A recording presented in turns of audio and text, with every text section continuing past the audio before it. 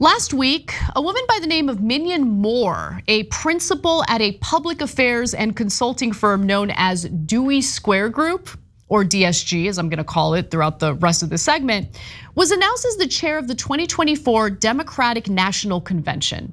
Pretty big deal. Now, I mentioned DSG, or Dewey Square Group, because of her involvement in it and what that actually means. Because while the Democratic Party still loves to present itself and market itself as the party that looks out for the little guy, for ordinary workers in America, actions certainly speak louder than words, and they keep choosing leadership that has very cozy ties to corporate interests, okay? So Moore is a longtime party insider. Uh, she's currently a co-chair of the DNC Rules and Bylaws Committee, and she was also CEO of the DNC back in 2001.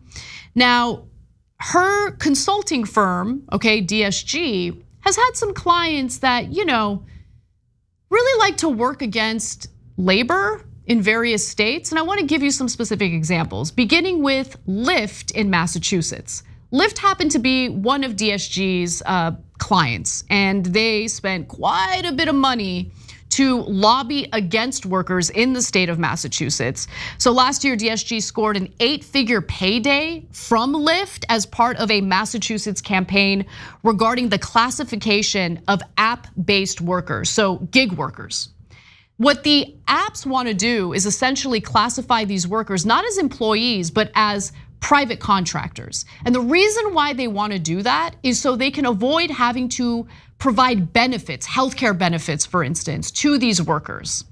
Now, Lyft and other companies launched a public influence campaign supporting a proposed Massachusetts ballot initiative that would classify app based drivers as independent contractors, among other policies. Lyft contributed $14 billion to the state group backing the initiative in what the Boston Globe called the largest political donation ever in Massachusetts. Now, uh, a study done by UC Berkeley kind of looked into what this ballot initiative would would do if it passes for these gig economy workers. Okay, and the US uh, the UC Berkeley study found this. It said that five loopholes in the proposition would cut into workers' wages.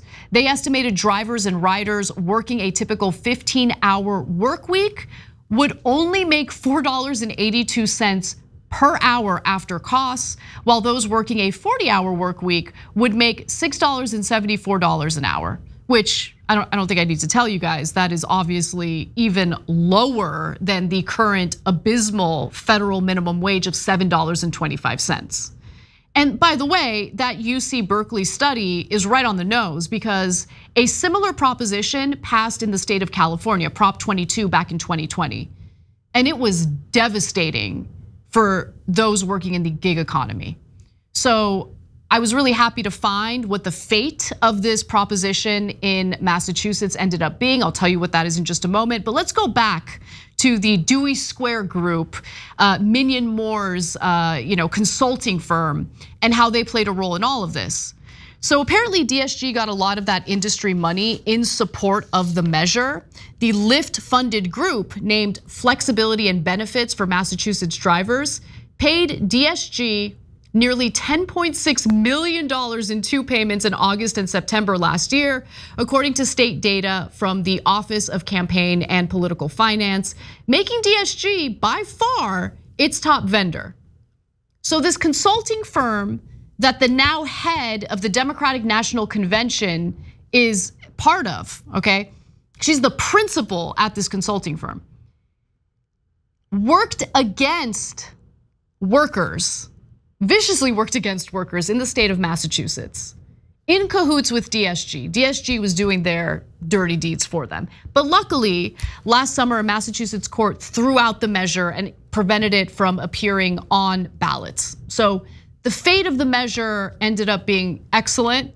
But the reason why I'm sharing these details with you is again, the person chosen to head the Democratic National Convention and all the organizing around it, all the planning around it, is the principal at this consulting firm that works on behalf of these moneyed interests and against the interests of ordinary Americans, ordinary workers. I've got more for you. Let's let's talk a little bit about the restaurant industry and DSG's involvement with the restaurant industry.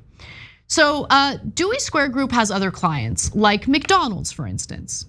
As of its most recent political disclosure last year, McDonald's was a member of trade group of the trade group, the National Restaurant Association, which is now leading the battle against a California labor law, the FAST Act, signed last year by Governor Gavin Newsom on Labor Day. Now, the FAST Act is a priority for unions, for workers' unions. It would it would establish or has established a 10-member fast food council to oversee working conditions in fast food chains, and it, it is also expected to increase wages for fast food workers. But it is now being challenged by a statewide ballot measure, which is expected to be on the ballot in November of 2024. Now, DSG that's Minyon Moore's uh, consulting firm, has a history of helping the restaurant uh, association out with these kinds of measures. DSG has uh, worked with, also worked for the National Restaurant Association as it opposed legislation guaranteeing sick leave for workers and the pro union Employee Free Choice Act. In 2009, DSG was paid $772,110 by the National Restaurant Association, according to The Intercept. And they have other questionable clients as well. Okay, so what are those uh, questionable clients? Biodiesel companies. So let's talk about that. In 2017, uh, Dewey Square Group received almost $1.2 million from the National Biodiesel Board. And in 2019 and 2021, DSG received another 1.5 million from the Biodiesel Group for consulting. Now, the issue with that is, you know, biodiesel has been linked to, you know, basically cutting down trees, uh, deforestation in order to uh, use the land as farmland in order to, uh, you know, essentially create the biodiesel, right? So it's actually linked to climate change. And this group that this uh, woman, Minyon Moore, is uh, part of, the principal of, uh, is essentially fighting on behalf of this industry along with other corporate interests, right? Finally, let's get to the creme de la creme, the private healthcare industry because this consulting firm also did a lot of work for them. For instance, since 2013, DSG has spent nearly $2.5 million for the Tenet Healthcare Hospital uh, company in lobbying Massachusetts on nurse safe staffing requirements and other issues. So the hospital industry has been fighting legislation in the state that has sought to cap the number of patients that nurses can be assigned to at a given time, going back to a bill that passed in 2014, applying a cap for nurses in intensive care units, which makes a lot of sense, right? Nurses are burnt out, healthcare workers are burnt out, understandably so, as a result of the coronavirus pandemic. Many of them have an unmanageable uh, workload with an unmanageable number of patients that they have to provide care for. And so the nurses union want to, uh, unions want to make sure that they have a cap uh, to by the way, not just look out for the nurses, but also ensure that the patients are getting an adequate quality of care. But uh, the healthcare companies, the private hospital companies, they don't like that because they don't want to have to hire more nurses. They just want to take the nurses they have and just load them up with as many patients as they possibly can. And so they have uh, DSG Group essentially work on their behalf in scrapping any policies that could uh, cap the number of patients that these nurses have. In 2021 and 2022, Tenet Healthcare was engaged in a 10 month standoff against the nurses union at St. Vincent Hospital in uh, Worcester. Uh, which the company owns as nurses stayed on strike to demand a series of changes, including nurse to patient ratios. Following the strike, Tenet partnered with the anti union National Right to Work Legal Defense Foundation to attempt to have the union decertified. But the hospital nurses voted in March of 2022 to preserve their union. And guess what? There's more. DSG is linked to yet another client. In 2021, DSG began lobbying for Molina Healthcare on a senior care program in the state.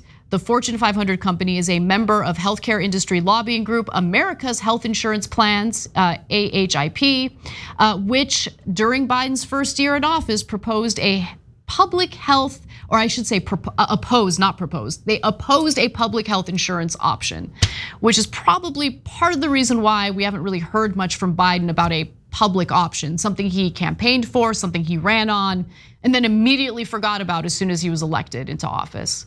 So, look, I give you all this information to say when the Democratic Party is puzzled by ordinary Americans turning their backs on them, refusing to vote for them, and they don't understand why because they love to market themselves as the party that looks out for the little guy. Just understand that people aren't stupid.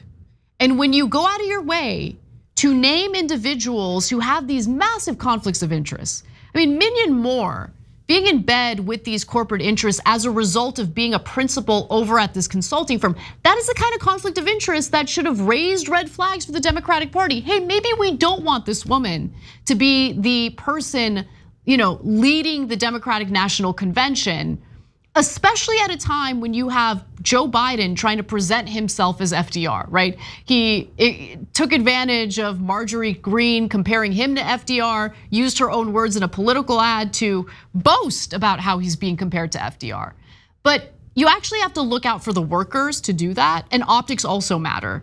So maybe take a good hard look at the leadership in the party. Maybe take a good hard look at the people that you're in bed with and question whether or not it makes sense to work alongside people who have a financial interest in working against ordinary workers in this country. I think that's super important for the Democratic Party. Hopefully they realize that. My guess is they won't, but we'll see. I just don't understand how they can like have all of these issues with all of these various people. It's not just Minyon Moore. I mean, look at look at Biden's cabinet. It is full to the brim with individuals who worked as consultants, had think tanks prior to the Biden administration. And take a look at who their clients are. And when you take a look at who their clients are, you have to ask yourself, who are these individuals actually looking out for? Is it the American people? Or is it the moneyed interests that they worked with and, and represented as clients before the administration? Thanks for watching The Young Turks, really appreciate it. Another way to show support is through YouTube memberships. You'll get to interact with us more. There's live chat emojis, badges. You've got emojis of me, Ana, John, JR. So those are super fun. But you also get playback of our exclusive member only shows and specials right after they air. So all of that, all you gotta do is click that join button right underneath the video. Thank you.